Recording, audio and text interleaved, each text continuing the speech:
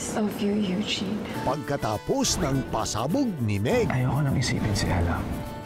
It's only now that I realize how happy I was when we were together. is Eugene ready to say goodbye to Ella? Sorry na wala akong lakas loob nun na magpakilala sa'yo. Hindi ko talaga carry pag nawala ka ulit sa akin. May happy ending ba ang ating fairy tale love story? URL presents Perfect Fit.